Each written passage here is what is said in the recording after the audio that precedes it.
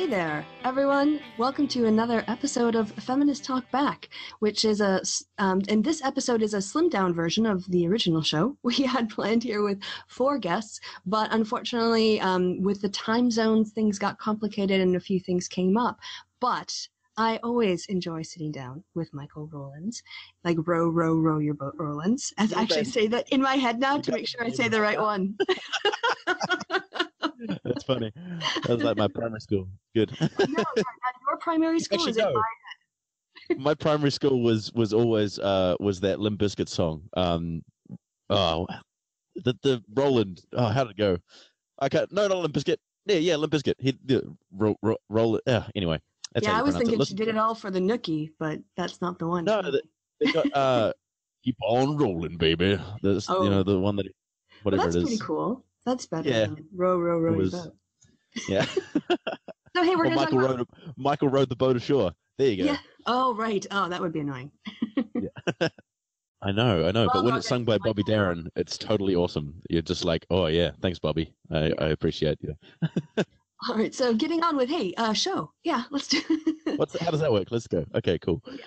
So um, we'll just have those guests on at a later date. Actually, I've got a couple of people now that are um, I'm trying to get on for a second time because of scheduling conflicts, but that's okay because you're more than a cons. oh yes, you're more than a consolation prize. Yay! I'm, You're- I'm, so much I'm fun to talk to. worthwhile. Yes. Um, yeah, tell us a little bit. Actually, um, we were going to talk about Milo, but maybe to set things up, and this is in the reverse order we discussed in the um, before we went on air. But you've just done a video about online abuse. So for the people who are listening, tell us a little bit about what inspired that video, um, how it came about, and what reaction you've gotten from it. Uh, well, it came about because I was talking to Go Fem Yourself. We were just having a chat, and she, she kind of just kind of floated the idea, I suppose. And I was like, "Holy crap, that's an awesome idea!" Uh, I'd I'd not kind of thought about it uh, before, and uh, I, because I talk about the sort of stuff that I talk about in the video a lot whenever I get the chance. Really, like I'll, I'll talk about it in, in Hangouts or when or whenever you, you know I'll, I'll write about it on Facebook or, or or Twitter or whatever. You know, so I've I've talked about that sort of stuff a lot, and I thought it would be valuable to kind of bring it all together into one place where someone could come and you know if they were having uh, trouble with online abuse or cyberbullying or whatever, they could come and they could watch my video and maybe get some uh, some tips and and and just some like solidarity with with someone else who's been through what they're going through, you know.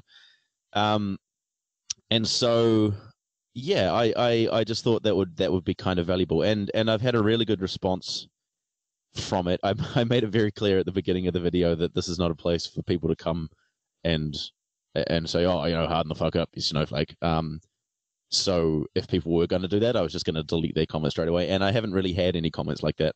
Um, so either either the warning worked or they haven't seen it yet. I don't know. But the people who have commented have been have been really uh, you know really really good comments. Like there's some nice discussion going on there, and uh, and a couple of people have even asked to, to kind of mirror it because they really liked it. So so it's on a couple of other channels as well now. Um, Yeah, can I mirror it too? Of course you can. Yeah yeah yeah totally. I'll have to space it out because I've been a mirroring machine of late, and I think my viewers expect some original content from me from time to time, so I got to space this Yeah. out. Just claim it's yours. Fine. Look at this great video I did. Yeah.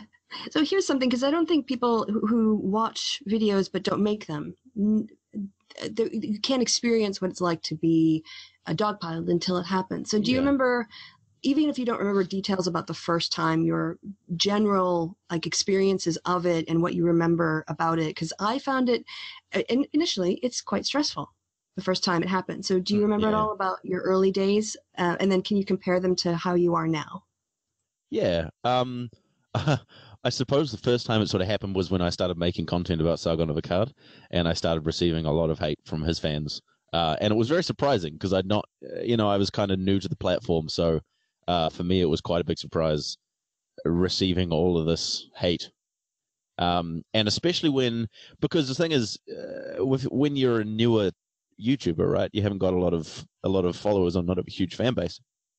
Um, the hate that you you get is pretty uh you know it, it far outweighs any of the the affirmation that you could potentially get because uh, the the spotlight has kind of been shone on you, right? You've you've you've the attention has been brought to your video or your channel or whatever by this big YouTuber who's got, uh, you know, three hundred thousand subscribers or whatever, and and so so the followers will be there and they'll be making that, but there's no attention.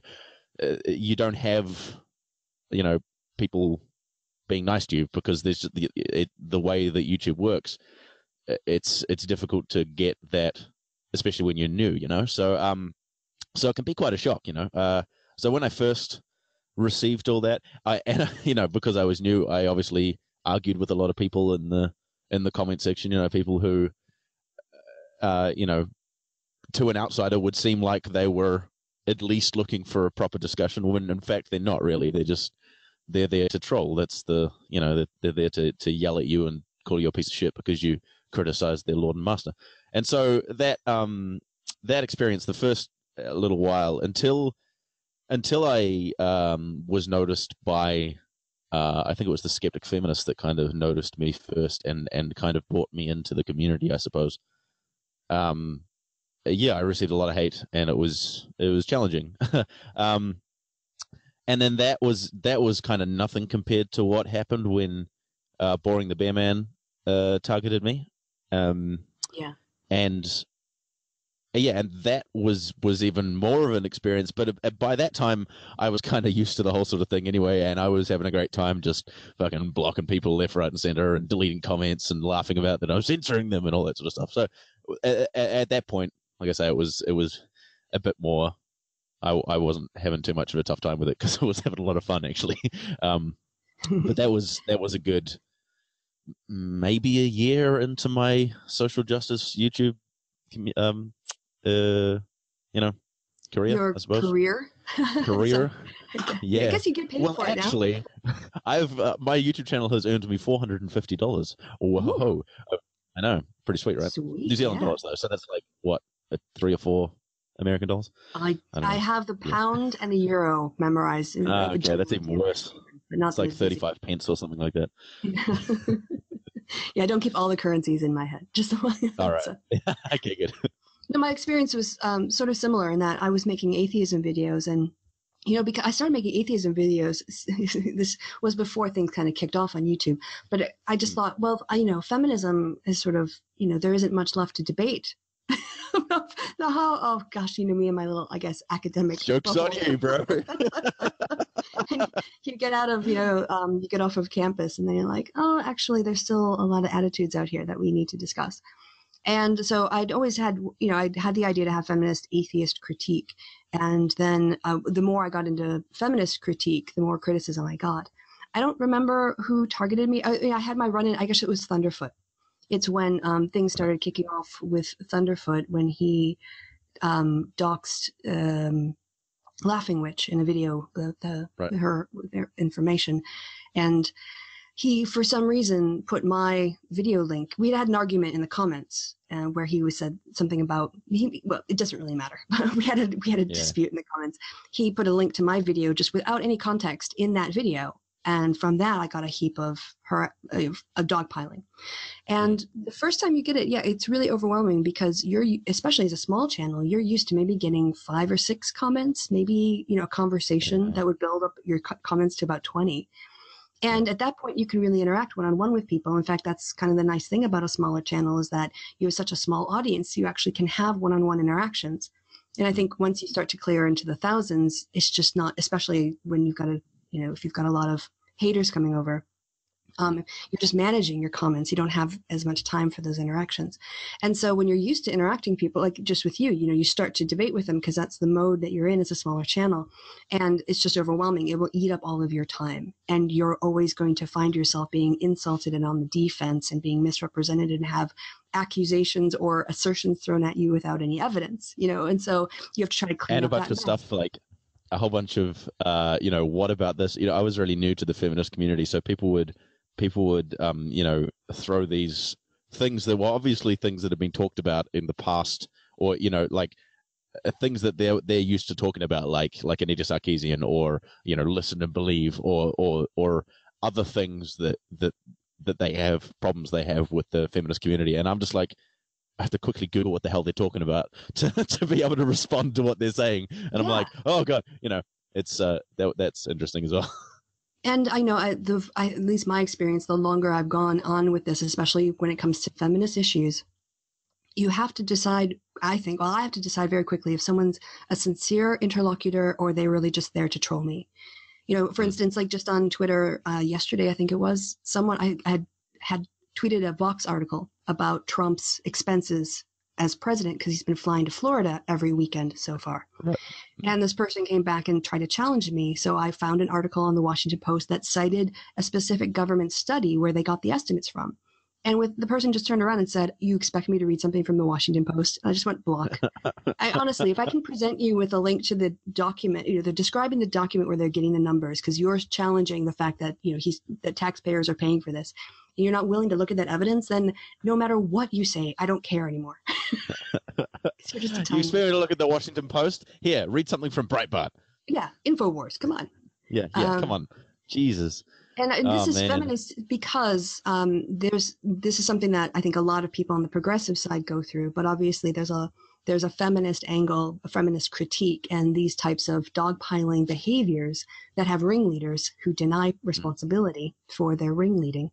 And Yeah. the effort there is to silence feminists, um, both men and women. And so, yeah, I actually had a um, I had a comment. Uh, I had a had a had a question on my Ask FM, and I think it was after I'd finished this video, and uh, it was a well-meaning question. The guy he asked me a lot of questions, and I I, I really appreciate it. So, um, uh, so he he asked this question about. Uh, he said he liked liked the video, and what would I say to guys like Chris Ray Gun or uh, whoever else who would say, you know, I've received death threats as well. Just get over it. You know, that's the this is welcome to the internet. Um, and my response to that ha- was and always has been, you know, it's it's ha- you've got on you've got one thing on one hand, you've got a guy with three hundred thousand subscribers getting the occasional, or you know, getting, uh, you know, negative feedback, but awash a sea of gleamingly positive feedback from the rest of his audience. And then on the other hand, you've got a small channel which has got next to no subscribers, which, like I say, will not have a lot of people there to affirm, you know, give positive affirmation. And then a huge wave of bullshit just waving over that. They're, they are completely non, there's no, you can't compare the two. They're, you know, so to say, hey, look, I received negative, you know, stuff as well. That, that's just like, yeah. Yeah it's not comparative at all there's just no way to do that and it either shows it, it either shows um you know a lack of uh of understanding how it actually feels because they've never experienced that sort of thing or like because one of the things i say in in this video is that that it's a it's an attempt to trivialize the experiences of the victim to um to to rationalize the things that they are saying or doing you know? So to, to make it seem like or, or either to make themselves feel better about the things that they're saying so that you know they're saying this stuff but it's actually not so bad because for this reason and this reason and this reason you know? They're, they're justified in doing what they're doing. And uh, and if you are a person that doesn't do that you know you're not necessarily a you're not taking part in the harassment but you uh, parrot that sort of rhetoric you are um, you are um, allowing that uh, that behavior to continue by your tacit acceptance or rationalization of the things that they are doing, and it's you're just as bad and, and part of the problem as as any as as the harassers themselves. That's you know Yeah, you're normalizing death threats. exactly. yeah, yeah, yeah, yeah, yeah. And the thing is, you know, depending on where some people have more issues with anxiety or they have, for instance, children that they worry about their safety. So I don't want to judge anybody for taking off, of, uh, turning a video to private or taking down their channel. But where I was, you know, in my life, I'm older, I'm more confident. I really don't give a shit what people who I have no respect for think of me, you know. And so Yeah, yeah, once you get over this is the key which is once you get over the dog piling and it might take a few waves of it you just Mm. realize that that's the kind of that's all they can do to you and if you can find a way to filter those people out because they're not producing anything constructive it doesn't have to stop you from getting your voice out Yeah, yeah. and that's what I think you know people around in the sort of video links our social network uh, here on YouTube. The you know we're growing as a community because of the attacks on people who've never been attacked before, and we talk to them, and then they uh, we connect with them, and end up building more of a community than we had that before Yeah. the pilot. Yeah, yeah, that's right. I mean, yeah, we've I've made quite a few friends from people that um, have been targeted, and so we've we've been able to talk um, and you know connect, which is really cool. Um, so in, in that sense, you know, it's kind of good.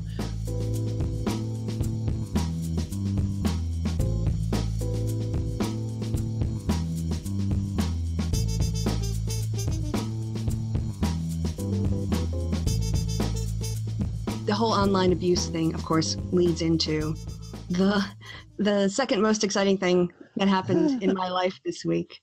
And I just wanted to okay, so when I go I I, I like a filet mignon. If I go out for steak, I'm going to get a filet mignon. And if I had it once, there's a place in Manchester.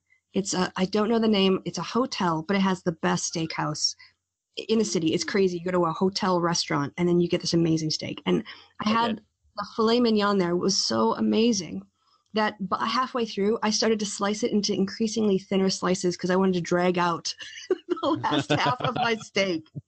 And that's how I felt the last few days watching Milo Oh. tumble in an almost Shakespearean tragedy like way from Right. a glittering height to uh, Oh. the pig's shit, you know, um, part of the farm. So yes, Yeah. um, one, let's talk about Milo. Um, first, let's go back I didn't to. think about the Shakespearean aspect of it. That's fantastic. but he did, he did. He set it himself totally up. is. Yeah. He's like Othello, man. He's just he's just gone. Yes. and now he's strangling his wife with a pillow. Hmm. Is that Othello? Fun fact. Yes. Fun fact: It's really difficult to actually do that. Like we were, t- I was talking about this with my flatmates once, and I was like, it doesn't seem like you'd be able to, you know, just like suffocate someone with a pillow. And we were like, do you want to try it? And I was like, okay, so I'll tap your arm when I need to breathe again. And he got on top of me. Know it's hot, right? And and pushed the pillow into my face as, as hard as he could, and I just breathed normally through the pillow. it's it's porous. You, I, don't- I don't understand how you could. Maybe maybe they were p- pillows are made out of different things back in Shakespeare's day, but Yeah, maybe down feathers are more pliable and face shaping. Yeah, maybe maybe uh, if it was like memory foam, that might Yeah. that might be a bit more difficult as well. You know. So- Anyway, of off topic. yeah, right. Sorry, what? The Bill Maher appearance. Oh Jesus! So we're gonna go back. I know it feels like ages ago. So much has It happened. does. It was only like a week ago. Hmm. Oh, I actually So- saw it last night. No, no, you you you you talk about that, and then I'll I'll bring it up after that. Oh, okay. Well, so yes, um, as many people know, Milo was on Bill Maher, and I, my problem was not that he was on Bill Maher, but that Bill Maher did really nothing to challenge his ideas. And in fact, in the overtime segment with Larry, the famous now one with Larry Wilmore, where he Ugh. has a back to him, he, you know, Larry! Milo t- tries tries to claim that there's, there's some well-known statistic about transsexuals involved with sex crime and Bill Maher, who I think in only in the last like week or two was going on and on about evidence when it comes to the issues of mm, immigrants and Muslims or whatever, and we're just looking at the evidence. He just went, "Oh, really? That's a statistic? Okay, I'm not going to question that at all." He really was the biggest marshmallow in terms of he did more to interrupt, uh, get Milo to not interrupt his guests than he did to challenge his ideas, and that was for me the most disappointing thing uh, about that appearance. Yeah, he um, it was just stupid because like he he defended bringing Milo onto the show by saying that you know it's there's it's the best thing that can you know that that we can do is if this guy is as bad as as people say he is, then he'll be exposed on Friday night. But he did nothing. He fucking just bent over and stroked his balls. It was it was it was embarrassing. He he he didn't challenge him on any that they bonded over their hatred for Muslims basically. And then like in the overtime section where they were talking about uh, the transgender bathroom issue, which Milo basically said that all transgender people are child abusers who want to, you know, abuse children in bathrooms. When there's never been a case of someone of a transgender person uh, abusing someone in a bathroom, that, that just never has. So this I read this that there was assertion that one. Oh, oh was- wow, that's some kind of event that happened in a bathroom where there was what kind of assault it was, but yes. So one in like all of human history or whatever. Since we've see, had records. is, it's like it's like it's equating a dude who dresses up as a woman so he can get into the bathroom, so he can abuse a child, with a person who's, uh, you know, uh, has their their gender identity, their their identity as a person has is different from their outer, you know, physical appearance. So they are, you know. Being Yeah. a woman that way, they're, they're, they're just not the same thing, you know. And then Bill Maher goes on to say, "Sorry, go for it." You're not going to make anyone safer, barring this, because these attacks don't happen. And we're going to talk a little bit more about this link, this patriarchal link, and the way that it's used, um, this nexus of sexism and racism, a little bit later on. But yeah, getting back to, to your point. the, the then Bill uh when when Milo was done spewing his hateful bullshit, my uh Bill turned to his panelists and said, "Hey man, what do you think about weirdos peeing?" And I was like, Exactly. You're just going to bandwagon on? What are you trying to be 14 now, Bill? And, "What a and- cunt!" and- yes. And you tried to compare him to Hitchens. Oh my God. Oh my god, that was even worse. It was, yeah. And he remind me of a young, uh, you know, gay. gay Christopher Hitchens. Fuck off. Fuck her right off. That's just like the biggest. You've just bent over and take a shit on Christopher Hitchens' at grave. you know. Hitchens would chew him up and spit him out with Oh, the same easy. accent. Yeah, exactly. exactly. He's one of the actual smart British guys. I mean, I had some problems with some of the shit that that Hitchens said, Yeah. but there's no denying that he's a very, well, he was a very, very smart man, you know, and he he, you know, college graduate for one. I don't think Milo is. I think he's a dropout, to be honest. yeah, he dropped out twice, I think. Yeah. Oh God, you know. And he he didn't use his platform to to bully and abuse and harass people. He, you know, even the people that he really hated, like you know, when he'd go one to one with with people like William Lane Craig or whatever, he he would argue. He he argued the the. The, the things that they were arguing about, he didn't say, "Oh, you guys just have low IQs." Right. Yeah, exactly. No, it's it's the case. You know, you can be a college dropout and be brilliant. Yeah, I'm Oh, yeah, totally. but you can also be a college dropout because you're intellectually lazy, and it's easier to just troll people online and get famous doing Mm-hmm. Yeah. it. And you know, Yeah. the critique that people like George Will in the United States and other American conservatives who were conservative back when Reagan was around. Those mm-hmm. there is an elite type of Republican who thinks of themselves as a very deep intellectual with a philosophy, a conservative philosophy that grounds and frames the governance of the country. But Milo doesn't have an ideology. He is he's not even a provocateur. He's just a troll. And that's why again, he doesn't belong on campuses because his speeches basically are garbled nonsense with insults to various groups thrown in. He's just being an edge lord. He's not making anyone think. There's no philosophy behind his positions. There's no coherent ideology. There's no guidance on how to shape policy. It's just Mm. about hating people and shaming, you know. And I look when it comes to stuff like if you think that, yeah, pedophilia should be shamed. Shame does have a role in culture, right? But if you're shaming people because they're trying to get attain a level of uh, equality with other members of the human species, that's not a good reason to shame somebody. That's not a valid secular Western uh notion of human equality. That Just that being an matches up. asshole. Yeah, You're just being a big fucking asshole. yeah. Yeah. The Yeah. um, I watched. Uh, uh, have you seen Dick Coughlan's videos on Milo? Uh, Yes. There's, there's, yeah. They but were. go ahead and summarize it for those who haven't, and then people can go and check it out. Ah, you know, uh, there was just so much good stuff. There were, um, what did he say? The thing that I was thinking of specifically was his point in the video where he says, you know, Milo, uh, Milo's whole thing was, um, you know, shitting on other people and calling that free speech, being like, I have a right to say absolutely anything I want about anyone, and they just need to take it. That's free speech, and that's how it should go. And now, but now that the tables have turned, and he is saying, you know, he's oh, you know, people are taking my words out of context. You know, I, I don't actually advocate for pedophilia. Now I've lost my job and my my book and all that sort of shit. And and and and Dick's like, well, well no, you can't espouse this this idea of you know words. They're just words. They're not important. Just get over it, kind of thing. For you know when it works for you, and now that the words have come back to bite you in the ass, expect us to have some sympathy for you. No, fuck that. You know, I, Yeah, and I thought that was Yeah, very well put, right? yeah, Because yeah, and on that Bill Maher appearance, he does say that words can't physically hurt you.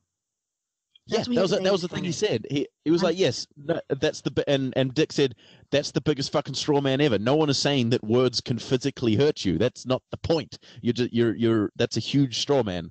No one's saying that words can't hurt you. They are saying that words have an impact, and that you know they you know do things. People do things because of words. People people you know religious people do things because they believe. So everyone believes in a thing, and that is because of words. Words tell you those things. That's what words do. They have meanings and they have an impact. That's not that's not saying that they're physically hurting you or something. But to say that words don't have an impact is is, is beyond ignorant. You know, I, I, I And he learned that very quickly within a few Yes. days. exactly yes. One of the big narratives in the pro Milo camp is using his identity um, as a victim of sexual abuse in the way that Milo uses his identity of being Jewish, being raised Jewish, and his identity as a gay man to Mm. hide his his hurling his insults and Mm. accusations at members of the Jewish community and at LGBT the LGBT community. And one of the things that I've been asking is when did Milo talk about himself as a victim of sexual abuse? And if it was before then, then you know what? If he apologized for what he said or took back and retracted those consent comments before this all kicked off, I will Mm. hold up my hands and say, you know what? I'm I'm not I'm he is, yeah, he's a victim. He's not just using it.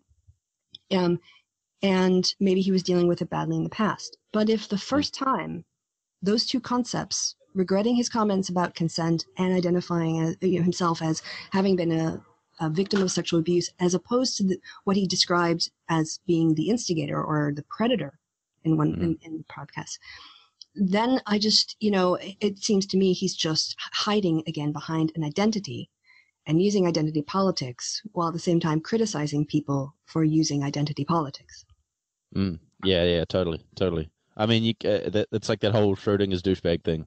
You, you know, okay, you're only saying these things now that you've been caught, and I don't really think it works that way. I mean, he he clearly says in the video with with Joe Rogan that he was the predator. You know, he's saying he instigated some of this stuff, and then he says in another video, I'm pretty sure I I I could be wrong, but I'm pretty sure he says that 13 year old is old enough to give consent because now he's a teenager.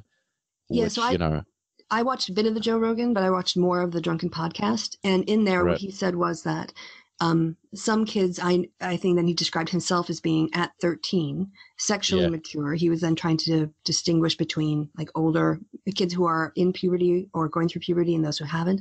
And those sexually mature kids can give consent. And he was saying that he was an example of that. Uh, yeah. I and, don't- you, I mean, the, the, in in my mind, there's there's there's kind of two different things. Uh, you know, teenagers exper- experimenting with teenagers. You know, like uh, so teenagers being with each other, but then you've got, uh, you know, emotionally mature adults taking advantage of teenagers. And those are two different things. And the and, and Milo is advocating for the second one. you know? That's important because what he was actually reacting against, if you watch the Drunken Peasants podcast bit, he talks about this arbitrary and oppressive or something notion of consent that the left Mhm. wants to put on. It doesn't take into account the variation in people's ability to give consent. So again, he was being provocative, you know, in reaction in order to shit on liberals. Um, but Yes. you know, it isn't an arbitrary notion of uh, consent. Legal consent by states is not uniform because there isn't a magic number that we know on this particular day. And you're when you turn 15 years, six months, and two days old, then boom. You, you know, you, you have the capacity of giving consent for sex. You know, so again, it's an attempt to criticize that really led into this him, you know, walking into this self-made disaster. and um uh the idea that he okay so because because like you say the narrative seems to be uh he was abused as a child therefore he's totally okay and doesn't deserve the shit that he's getting but uh, um Can I just say he- also sorry, before, but and if he had sex when he, he was forced to have sex when he was thirteen, I agree he was abused. And th- you Sure, know, sure. yeah, yeah, yeah, yeah, just totally, to say- totally.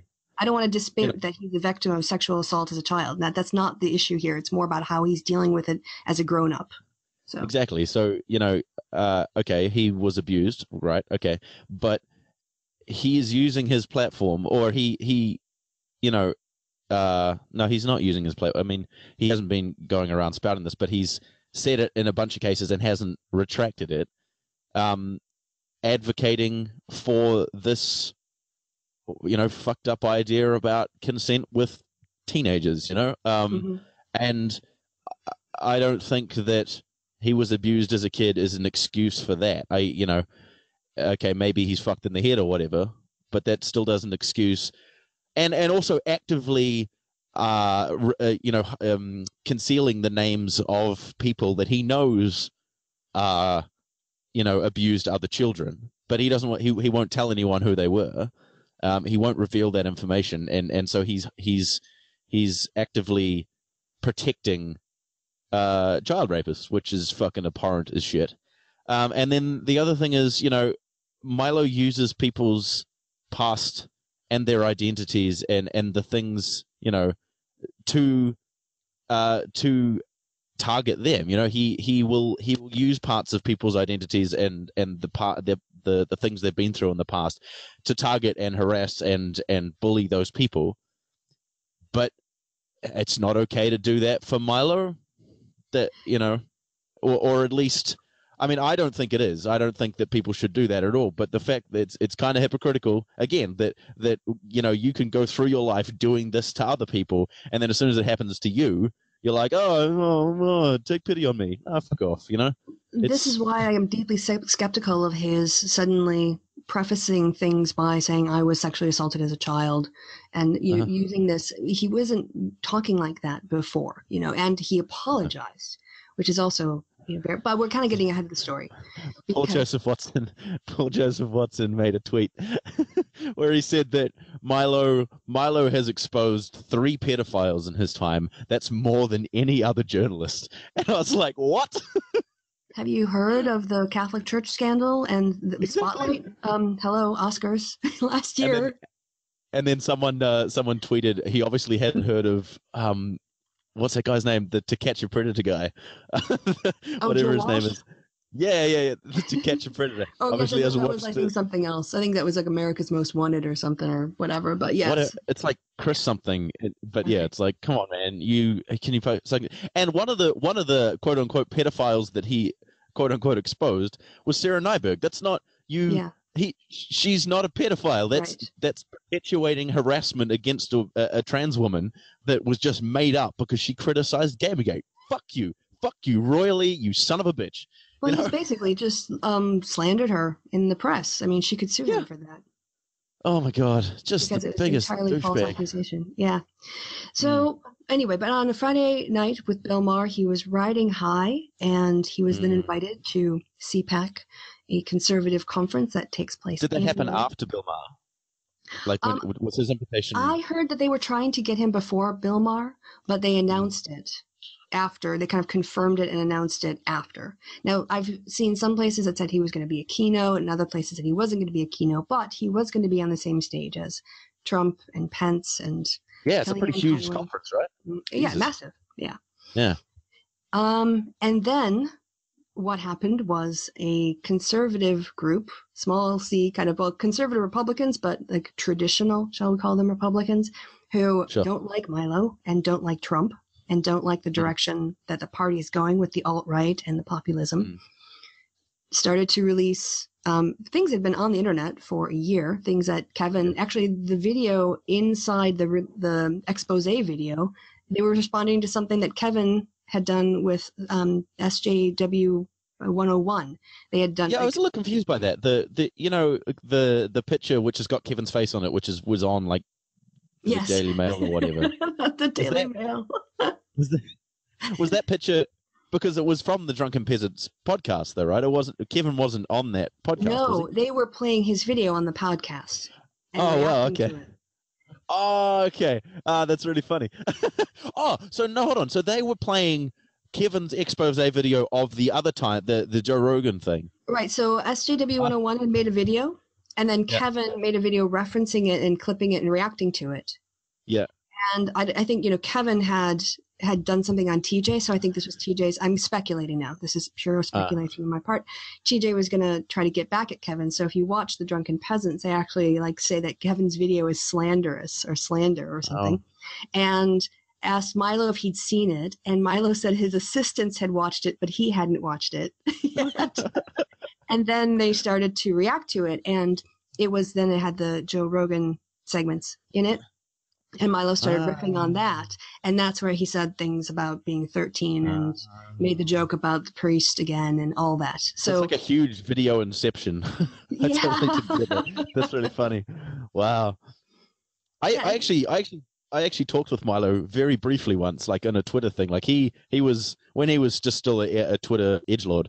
Um, he was tweeting some stuff, and I I did my usual um kind of thing to that, and he replied to me, and we had a little back and forth. And so I, I just remembered that that I that I'd actually interacted with him.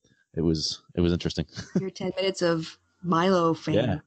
Yeah, yeah. Anyway, continue. Sorry, you, um, you were saying conservatives, Um, right. So conservatives, yes, and the, this started circulating. Um, I had uh, seen a, a posting from Kevin where he was uh, saying something along the lines of, uh, "Jake Tapper just tweeted something that has part of my video in it, and he was really excited, so I went to check it out." And Yeah. yeah, the video segment started to circulate in the mainstream media rather than just like on the YouTube inner circles yeah, yeah, yeah. caught fire and then we started to see the cascade of events so how was it for you michael watching milo's real-time tumbles yeah. Um, it was cool. I because I remember seeing I remember seeing that video of Kevin's. I think when it came out, maybe. Um, because I remember I remember someone commenting. It was funny. It was a it was a girl that I knew from high school. She commented on one of my one of my videos about Sargon, and uh, and she was saying about how she was thanking me for for introducing her to Milo Yiannopoulos. Um, she'd not heard of him before, and I was just like, "Are you kidding me? The guy's a motherfucking douchebag." And she's like, "No, he's not." And then I was like, "Here's some evidence that he supports pedophiles." And then she went off this big oh, rant and it was kevin's video it was Kevin's video, yeah, yeah, yeah. So I remember seeing that when it kind of came out and thinking, "Holy sweet Jesus!" And then I, I suppose it kind of just faded into the back of my mind because you know it, he he didn't really reap anything from it. So, um, but yeah, I, I mean, it's it's it's it was great. Like I remember waking up and seeing you guys had posted about how he'd lost his book deal, and I I hadn't heard about the CSPAC thing. Uh, I, I hadn't heard that he was going to it, but then I I heard after the fact that he wasn't going to it. So that was you know, and then I saw the thing about uh, Breitbart potentially dropping him. Um, and so all this all the stuff just kind of came one after the other, and I was like, wow. Um, but uh, like like my initial reaction was like, okay, that's fucking fantastic. But then my my kind of secondary reaction was, you know, okay, it's great that that he's got what's coming to him, but why has it only happened now? I mean, it, it just kind of shows that these people were okay with him being transphobic and a bully and you know like the thing that he did to Leslie Jones, the thing that he did to the trans woman at his at his um his talk thing, you know, just continue, you know, being a huge fucking sexist, racist piece of shit. They were totally fine with all that stuff. Absolutely no problem. That's that's fine. Let's you know he's he's oh, free speech matter, but now that he's he's also advocating for pedophilia, that's that's too far. We can't, you know, we we can't allow that. And it's like, yeah, I mean it's good, but it's just kind of silly that that uh, that it had to be this that that did it. You know, not that the other stuff doesn't matter.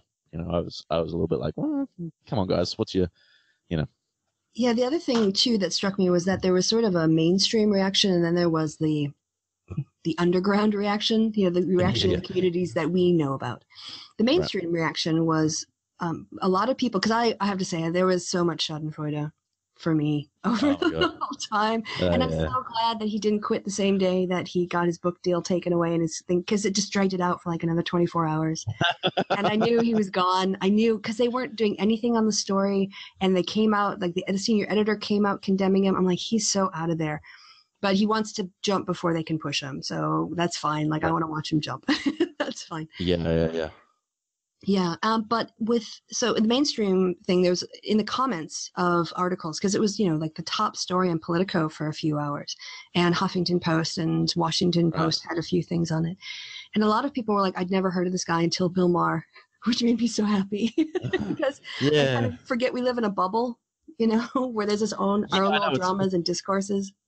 Yeah, it's kind of weird, eh? Um, I, uh, I, so have you heard this this this rhetoric of it's it's the left's fault Yeah, that Milo's so popular? It's it's the left's fault because they tried to censor him, and he's so popular now because of the fucking the left. Have, you- have you heard this? Well, I've Um, also heard that the left was behind this. That this was a coordinated um, attempt by of course it was. um, by soft by soft Republicans and uh, the the liberals to get me get at Milo when his exposure was highest. And it's not. So So- what you're saying is that they were politically smart. Yeah. They- he they told- them they- a knife. He they told people. yeah, in January they just like Caesar. Uh, it was the Ides of whatever day it was that he announced. The 21st of February was the Ides of March for him. Yeah, yeah, yeah, yeah, exactly. they they show. Uh, I, I don't really understand that. They they showed people the things that he had said, and that's their fault. Yeah. it's like what? because they timed it so well. How It was obviously a conspiracy. Yeah, exactly. How dare you tell the world the things that he said? How that- how how dare you make Milo go on two different podcasts and say outrageous things and then get a lot of exposure um, and anger a lot of people and then a whole bunch of people, you know, people on the right take the initiative um, to do it and liberals just sit back and get their popcorn. Typical typical video game feminism. That's you know, Yeah. it's all Anita's fault. That's what it is. But- so- fault. there's a lot of um who is this milo guy but um if you okay so like me on twitter i actually like searched milo just to see what people were saying about him and i could see Right. sargon was talking about him a lot because there were a lot of tweets addressed to sargon in the latest ones but Ah, people son, say really weird things in defense of milo like the age of consent in germany is 14 uh, uh, well yeah So- know, like the sun is seven um, light seconds away from the earth or whatever minutes i knew it was Straight for the seven and i knew it was like years or seconds or something yeah but Eight um, minutes, Kristi. Eight what minutes. does this Come have on. to do what does this have to do with anything the age of Yeah. consent in germany doesn't matter when he was living in britain where the age of consent is 15 Um, and so it was and, and the defense uh, people saying that he should be able to talk about this in whatever way he wants okay so if milo because he was a, an eviction and, and i actually agree with this point but the thing is they only apply it they apply it to him. If he has a specific experience as a victim of sexual abuse in, in his childhood then he has yeah a, an ability to talk about his experiences in a way that other people can't. Um, but then so do people who get um, have their family members shot by the police and women who um, experience rape culture on campus because um, athletic departments allow people accused of rape and domestic violence to keep playing- football. You know Mm. so everybody's if you're going to apply that logic to milo then you, it, it has to go out to everybody. It's great how um how caring they are about the victims of abuse now. You know like they're so they're so they care so much about victims of abuse. Why, why are you guys not caring about a victim of abuse yeah because you you guys talk about victims of abuse all the fucking time you know Or- and you definitely uh, you know uh, consider the experiences and feelings of people who have, ha- who've been abused in the past that's something you guys do a lot right or Fucking- more recently and applied to the youtube community right the woolly bumblebee had that incident Mm. there are police reports that she filed Mm. And once that was out there, Bearing fans started saying, well, let's show us the police reports. We demand to see the evidence. Nobody's asking Milo to prove he was a victim Mm. of sexual abuse. It's listen and Who- believe. I I watched a video. What the hell? Who? Oh, it was it was it was by Kevin. Kevin Kevin did his video about Chris Ray Gun, and uh, this idea that when someone comes out as a victim of abuse or or or whatever, that you need to be ultra skeptical. Otherwise, there'll be all these false rape accusations that'll happen if we're not super ultra rational and skeptical about uh, a thing. And Kevin's point was fantastic.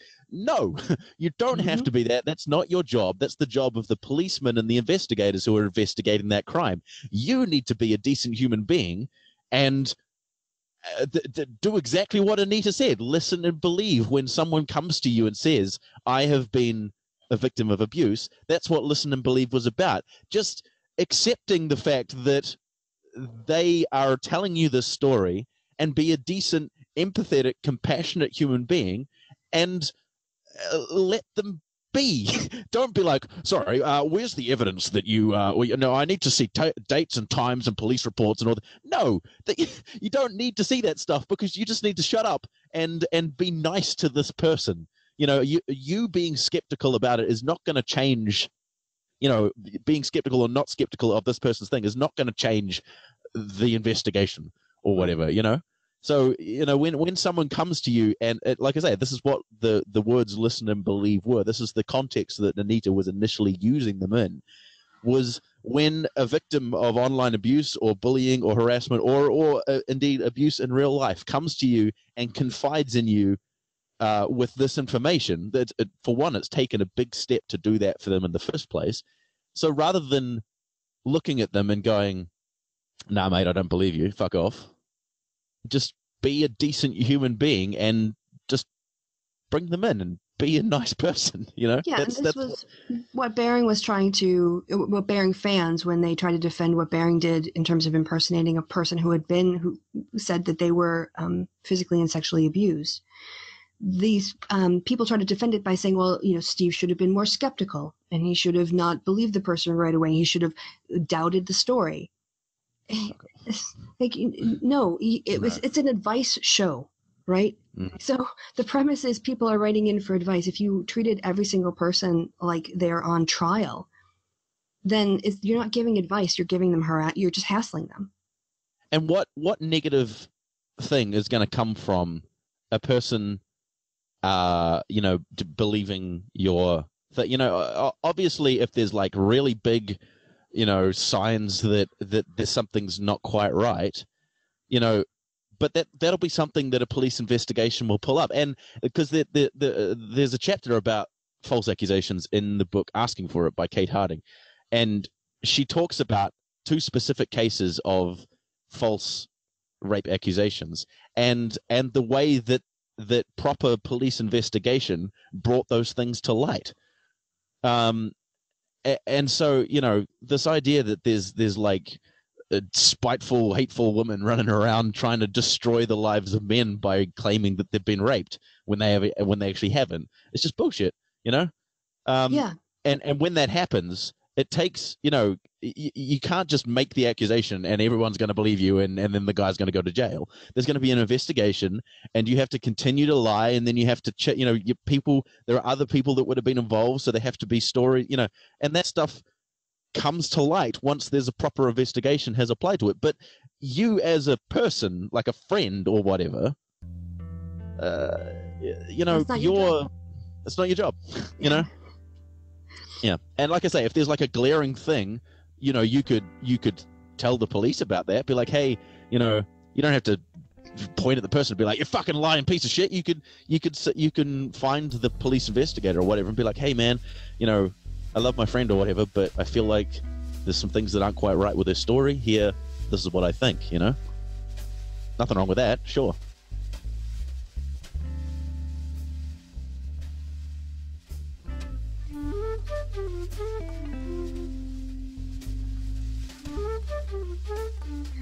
So, since we're on the topic of um, ways that Sorry, uh, rape, no, no, no, no, no, I understand. I'm just trying to segue this into the next segment, which is totally, um, you know, selective outrage um, or times when um, things aren't applied fairly. So, when we talk about uh, rape and then issues of false rape allegations, there is an area in society where rape allegations are accepted pretty much on their face and sometimes in, before there's any evidence to support it.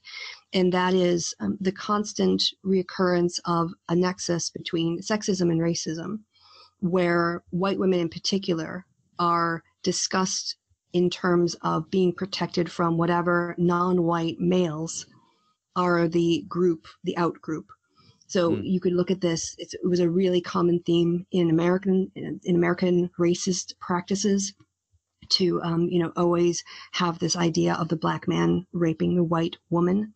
Um, men were executed in, in, lynch mobs for just the accusation of that mm. kind of thing. And we see it also, I think I would argue, with the transphobia. The idea Mm. that the issue of of having uh, the, the using the bathroom for the gender with which you identify, it goes for men's and women's bathrooms. But the entire discussion is framed in terms of protecting women and children. But of course, Yeah. women, what are you protecting them from, right? And we had recently a German, big, big, huge German newspaper retract a story that had alleged uh, sexual assaults by Muslim or immigrant men. I can get up the actual details here on New Year's Eve this year. And the fact is, it was a completely false story. So here I'm looking at the New York Times. I'll put a link to this in the description box below. Bild apologizes for false article on sexual assaults in Frankfurt by migrants. The German mass circulation daily Bild has emphatically apologized to its readers for an article that said a mob of Arab men had sexually assaulted women on New Year's Eve in a Frankfurt restaurant after the police said that an investigation had failed to turn up any evidence. The accusations carried echoes of, a genu- of genuine attacks on New Year's Eve a year earlier. Um, a spokesperson for the prosecutor said Thursday that they had opened a preliminary investigation of two people suspected of fabricating a crime. So, just a little note here as well on uh, data on migrant crime. German's federal police compiled migrant crime statistics for 2015 and released a report in June as part of efforts to calm a heated debate. Migrants committed a smaller share of crimes than their proportion of the overall population. In terms of all crimes, the share of foreigners, including migrants, among Germans roughly 81 million people, that would include me, I guess, I'm an, uh, you know, worker, is less than 10%, but proportionately far fewer of the roughly 2 million people investigated for all crimes committed in 2015 were migrants, just 6%. When it comes to violent crimes, of the 2,721 crimes that ended in a death, migrants were responsible for about 9%. And of the 1,683 cases of sexual abuse, including rape, they were responsible for about 5%. Again, in the population, uh, the share of foreigners, including migrants, is 10%. So uh, I don't know if um, Kraut and Tea will be doing a video on that. But your thoughts on this um, this sort of feminist, I guess it would be a critique. It's it's also you know a rights a, a racism critique of of discourse when it comes to othering uh, men within uh, a male society. Mm, yeah, yeah, yeah. Uh, well, I think it's quite telling. Um, I mean, there was a big outcry from various people. Um, thinking of Paul Joseph Watson for one. Uh, P- uh, P- Black Pigeon speaks. You know, people people saying about um, this. I, I think Sargon did as well. You know that there's there was these huge gang rapes on New Year's Eve in New York. You know, thousands of Muslim men. You know, gang raping women in Yeah, in and it was Cologne, right? mass sexual assaults. And from what I've Yep. seen, there's been at most three rapes reported. If people wanted to cite newspapers under belief beneath for higher numbers, but three reported rapes. But then yes, mass sexual assaults, including grabbing and, and other sort of physical contact. But now we're so th- this is the same thing we're talking about, right? That this is actually false. This is Yeah, there were no mass rapes. There were multiple Yeah. rapes, but the idea that somehow hundreds of women were raped that night is just a lie. Again, there were three allegations that I saw from newspaper reporting, and I haven't seen any higher numbers since. But the other ones were things like grabbing breasts, grabbing buttocks, and then women were robbed while they were being grabbed. So it was like a a con job. They were, you know, physically assaulting, you know, cr- a criminal con job, but it was um it was not mass rapes. right. Okay, but hold on. The this article from that that's that's talking about the the retraction the of of the people making shit up. Is that a different? So that was from earlier this year, and it was alleged to have happened in Frankfurt. Ah, that okay. Right. So Sorry, there were the real attacks. Yeah, there were the real Mhm. attacks about a year ago. But then this one about in Frankfurt saying that a mob of Arab men had sexually assaulted women in a restaurant was entirely false. Right. Okay. Gotcha. Gotcha. Gotcha. That makes sense. Sorry. Um, uh, yes, I I live in Cologne, so I'm Co- Cologne centric. No. Yeah, I mean, uh, uh, the the the thing that that gets me is the selective outrage, like the being outraged at these um these stories, but only because you can use it as an as a piece of ammunition against feminism to say, hey, why are feminists not talking about this thing? Why, you know, look at all these. Is it because they fucking love Islam people? They're apologetic, you know, they're letting Islam off the hook because you know Islam, Islam, fucking, you know. So they're they're using it as a as a tool to shit on feminism and on Islam and all this sort of stuff. They they they they would not, and they are not and, and in fact, some cases are like actively um, uh, saying that it doesn't happen, be outraged about uh, rape culture in the West. You know, like Kristi was saying about um, uh, college football. You know, people getting uh, women or or girls getting getting raped because you know uh, uh, people who are accused of abuse and stuff in the past are still allowed to stay and play college football or whatever, and and you know so and all the shit kind of goes under the radar. I read this article about a fucking um uh a guy who was working for the Olympic um medical department or whatever, and he was accused of all these, you know, sexual assaults and stuff on women who who who were I can patients. link to that in the description box below too. Yeah. Um, there, there's there's so many. There's there's there's endless stories and and and um, cases of this shit happening all the time but it only gets brought up by these people when they can use it as as a thing to attack feminism or attack Islam with, you know.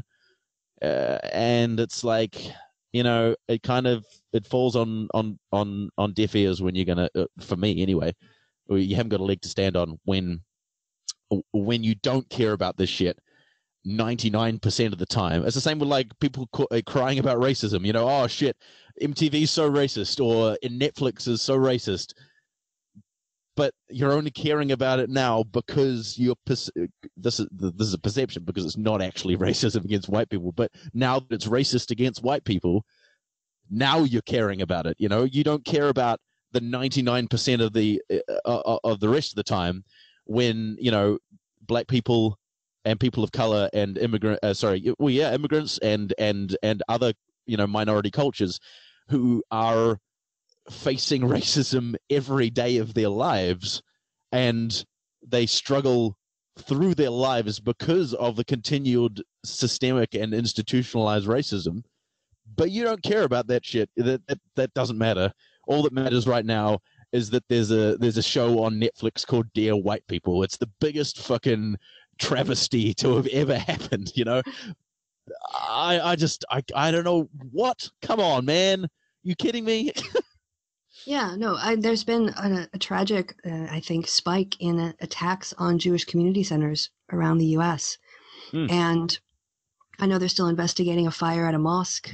That was um, I, I don't know if it yeah, was arson. Uh, yeah, but the Jewish community. What about the what about the, the, the attack on the Muslim uh, church in uh, so the, the mosque in in Canada? You know, yeah. so a guy, uh, pretty sure it was a white dude, went into, yep.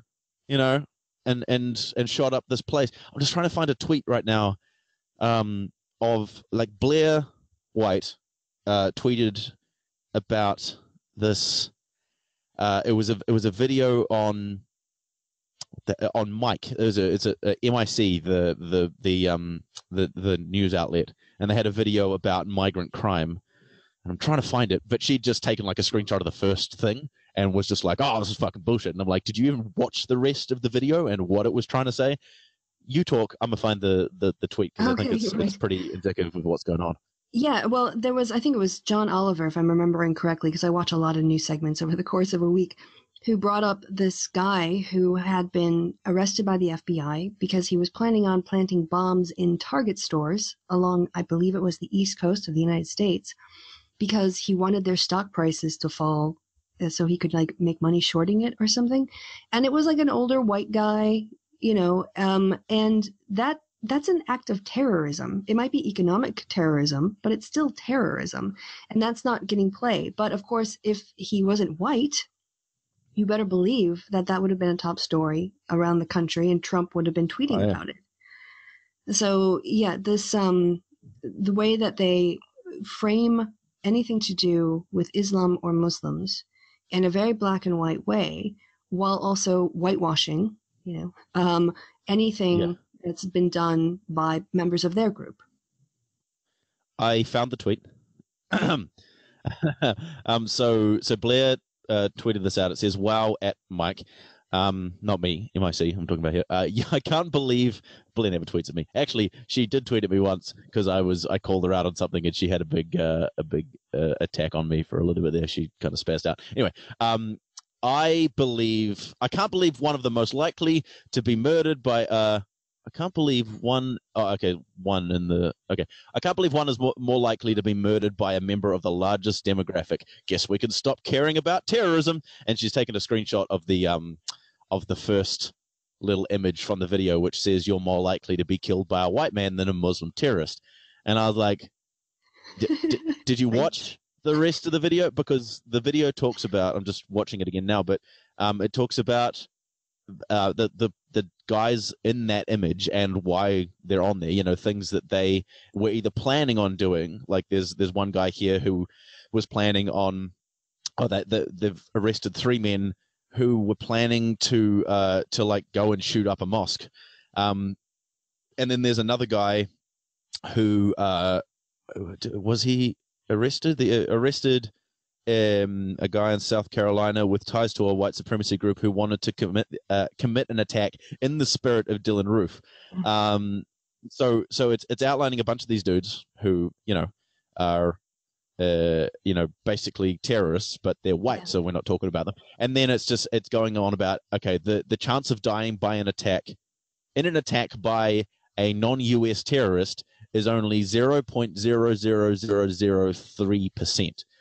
And then it says zero refugees from the countries Trump tried to ban have carried out a terrorist attack on U.S. soil. And it says then, but white men were responsible for 64% of mass shootings in the U.S. since 1982. Yeah, and so it seems like clear, uh, Claire Blair has completely missed the point, or is just misrepresenting it on yeah. purpose because she. You know, yeah, I mean, the reason I laughed when you initially read it out was because I'm like, "Oh no, are you offended by facts? oh, you poor special snowflake! Does a does a yeah. does an objective fact offend you?" Yeah. Well, I mean, because the thing is that that it makes no sense because she's saying, uh, you know we should stop caring about terrorism. No because that's not no. what the video is saying. The video is saying that you're very unlikely to be to be killed by uh, um, i mean it kind of it's a little bit deceiving i think because it switches the it says that 64% of mass shootings were committed by white men and then it switches to um, you are you are this likely to you know this amount of percent to be. So it's it's it's it's switching the focus of the of the statistic, which is a little bit misleading, I think. But the point still kind of stands. You know, you've you've it's sixty four percent of mass shootings in the last twenty whatever years were committed by white dudes, and none of and so the, I think the main point of the video is that this would have come out just after Trump issued the the Muslim ban. Mm-hmm. Um, that none of that there've been no terrorist attacks from those countries. So I mean, you know, that's that's not saying we should not care about terrorism. That you've just blatantly misrepresented the whole point of the video. Right. You know? We're supposed to be evidence led, right? And we're yeah. supposed to use reason. And if we're going to be using reason as applied to evidence, then we need to have a proportional amount of concern based on the statistics presented. So what I'm kind of in a roundabout way saying is um, you have to it, you can't be this incredibly hair on fire outraged over a possible threat from a country where no terrorist attacks have ever come from those migrants when we have this whole population over here that for some reason goes on mass shooting sprees. And we really need to figure out what's going on in that population so that we can stop that but no, no, no, We're we're being it's white genocide. We're targeting white dudes uh, and and and vilifying white men because you know the oh, fuck off. You know, it's not. We're not saying that all white men are, uh, you know, b- b- mass shooting murderers. That's not the case. Uh, the but the fact is, like the cold hard fact is that sixty four percent of mass shootings since nineteen eighty two are done by white dudes. Let's so just say, when, if you were an FBI profiler and there was a mass shooting, you're you're going to say that you're going to profile first thing it's probably a white male.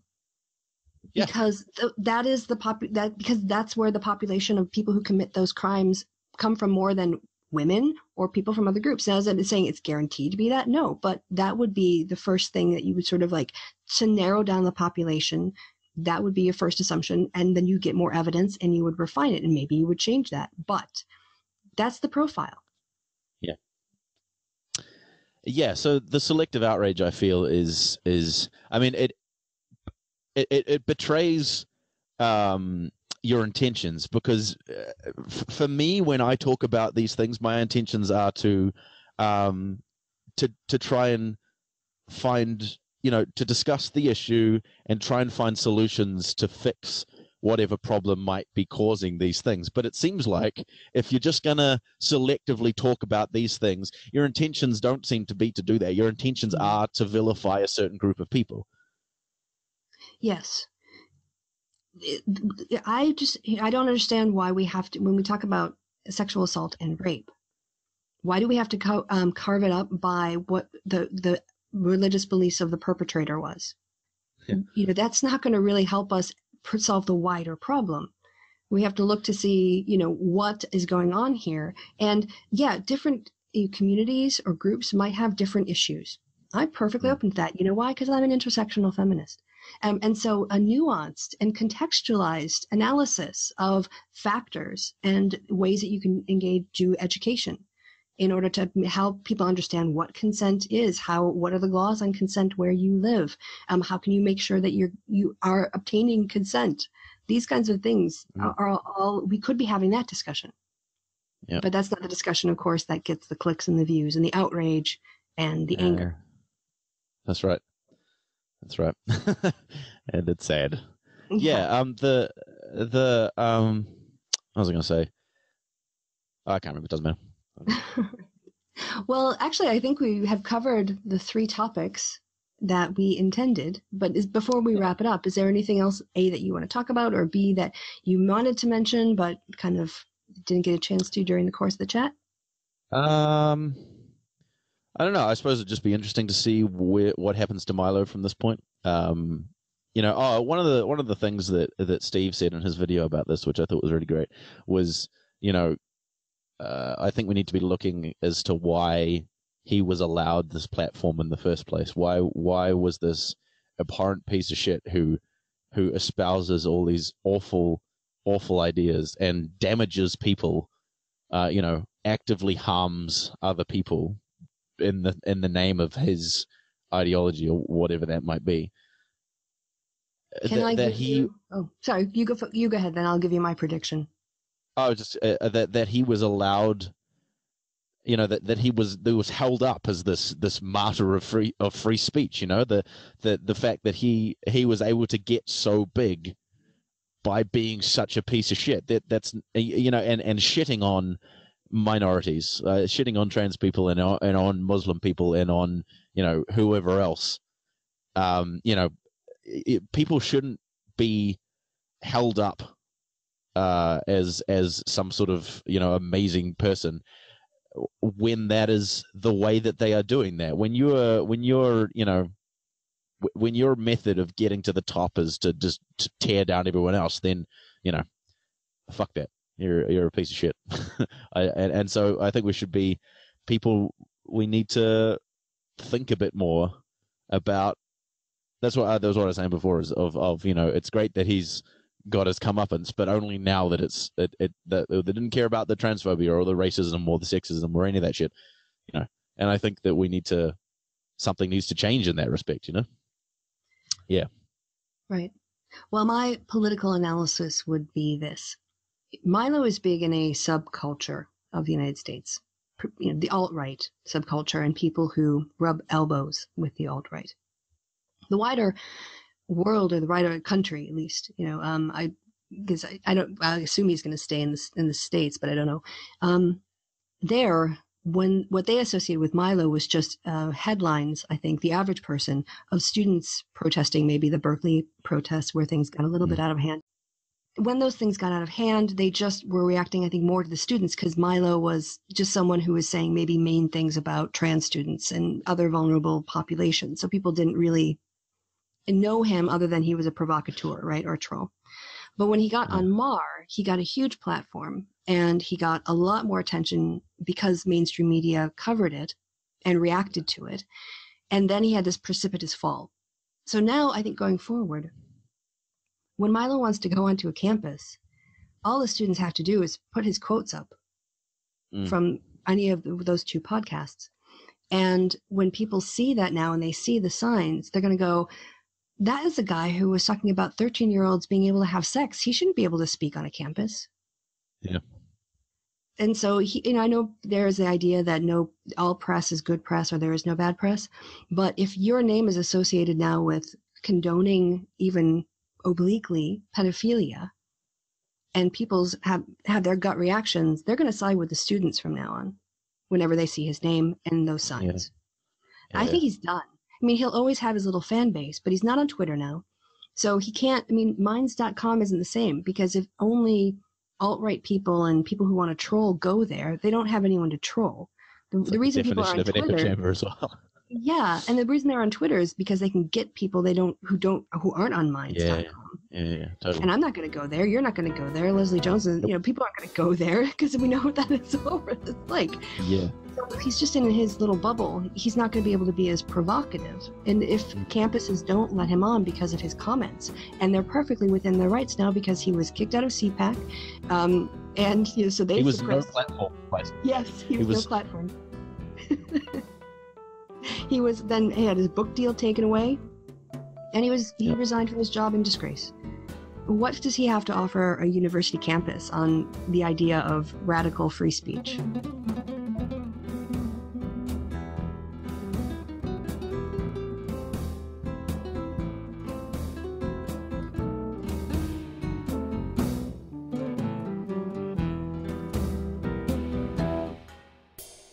I just think the whole free speech thing is fucking ridiculous anyway. I mean, people go on and on about free speech, but they a don't understand what the fuck it is, and then b are so they're they're they're saying a bunch of stuff and supporting a bunch of stuff which isn't about free speech.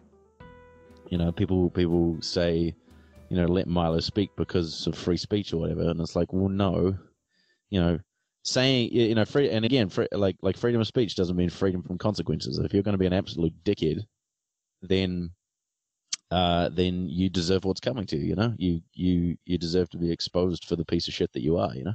And have people judge you in that way. If Milo's press conference had been focused more on retracting his statements and about victimization and the impacts of it and where people could find support and resources and to encourage people who have been through that situation to come forward and to get help and to reach out, then I think he really could have redeemed himself. But instead, Mm. he made it about himself Yeah. because he's Milo. yeah we'll see that that just kind of shows that he it, it's not he doesn't really care about the victims or anything like that he just cares about saying what he needs to say to try and save face you know hmm Yeah. And of course, he's always going to be on the attack, like Trump. Yeah, yeah, exactly. He's always going to be right, and he's always. Uh, mm, who, who does that remind me of? Always going to be right. Hmm, Yes. Yes. Alternative Uh, facts. yeah. Hmm. oh god, that whole alternative facts thing, man. I'm just like, what? Because I was reminded of the whole Lugan Lügenpresse thing. Oh, and yeah. I'm like, uh, Well, when God, I remember. Trump actually came out and said that the the media were the enemy of the American people. Yeah. What? Come on, man. you got to pick your words a little better. It just sometimes feels like I'm not living in the like somehow I got off on the wrong parallel universe where Trump won. Yeah. And I'm like, this Yeah. isn't right. no, it's the more. Yeah, it's what? this is not normal. No, this is not normal. Uh, So hey, I've got a question for you. Because um, uh, uh, do you guys do carnival or celebrate like uh, Mardi Gras Fat Tuesday anyway? Where you got where you are? No, I- I don't think so. I mean, they have some stuff in Wellington. I know there's a thing called the Cuba Street Carnival, but I don't know if that's related to Carnival or, or anything like that. Um, but I mean, we have festivals. Okay. Well, because um, you know, I'm, I actually I was out in the rain today because we have Yeah. our carnival in Cologne. It just kicked off, and one of Cool. our one of the people in our group had was talking about her experience at the Rio Carnival. It's like, wow, that's going to be a very different experience from Germany in February. Yeah, Like, yeah, You totally. can get away with not wearing clothes um, at Carnival in Rio, and you can't do that if you're not not Yeah, if you but don't want to get sick. So maybe I've, I've Uh. caught something um, from being out in the rain today. But Is it yeah, first day of Carnival is great. winter at the moment? Is that what the deal is? Sorry, I Is it missed like the first. Is it freezing winter at the moment? Like Yeah, so it's just coming into it's the end of winter, the, just the start of spring, and it was Oh, a okay. really sort of drizzly, windy day out, Mm. and it's been pretty blowy uh, for most of the day here. I think we had like a high of ten degrees centigrade.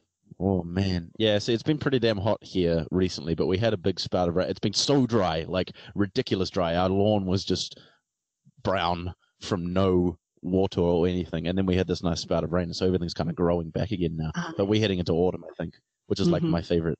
I love autumn. It's the best.